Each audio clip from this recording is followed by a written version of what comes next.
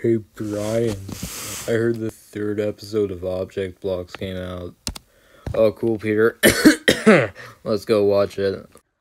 Ah, I love relaxing. Ah, I'm the evil shark. Oh no, this is a rushed April Fool's video. We don't have time for that shit. Well, Brian, that was a pretty good episode if I do say so myself.